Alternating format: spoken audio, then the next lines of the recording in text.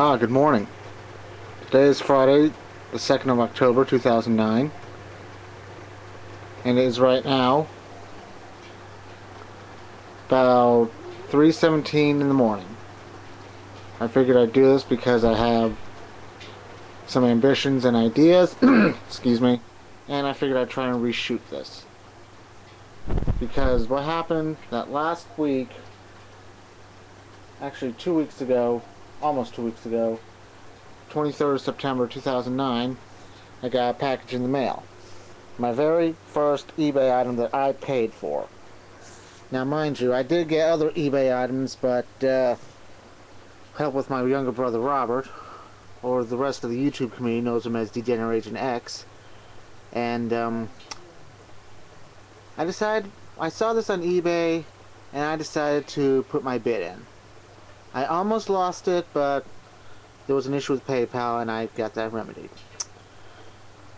And here we have a lovely, what looks like to be a 6970 model Penncrest Series 100 model 9711A from J.C. Penney's. It's almost the same thing like uh, Local Hog 91 has, except the handle is actually the same color as the body. Still the same nonetheless. Sorry. We got nice shiny blades.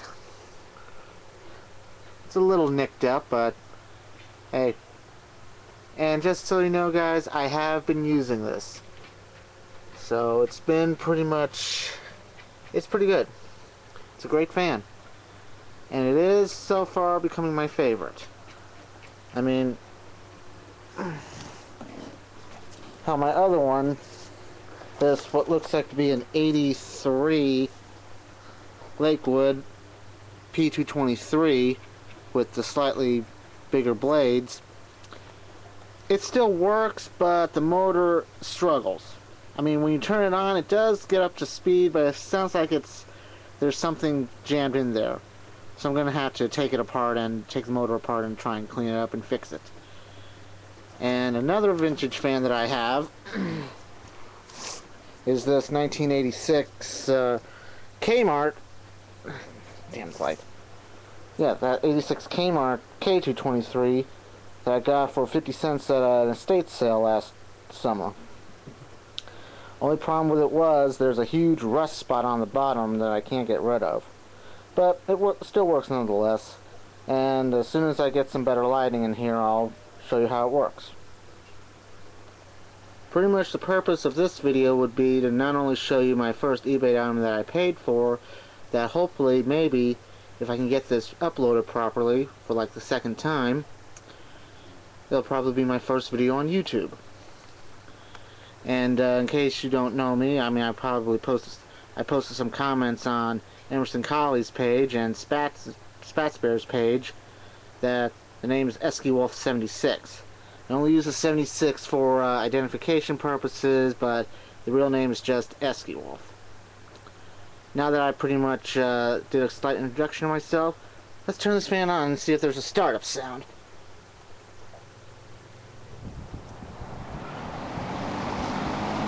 No startup sound, but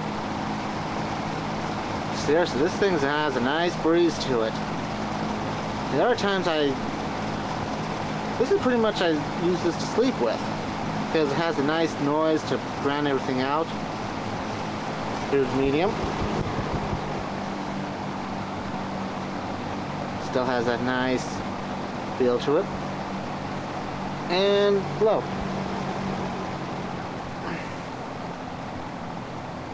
Also a nice breeze.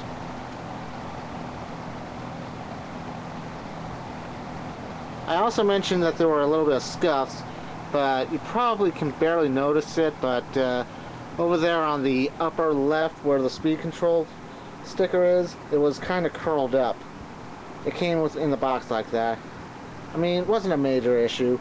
I tried to super glue it, but it wouldn't hold, so I took a small piece of clear packing tape and uh, put it on there.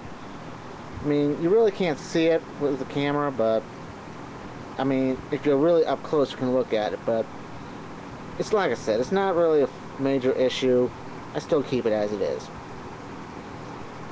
Let's turn this off.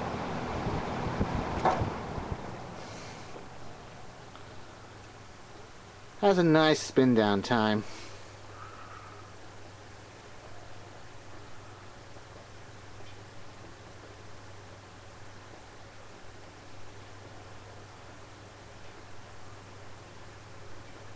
Da, da, da, da, da.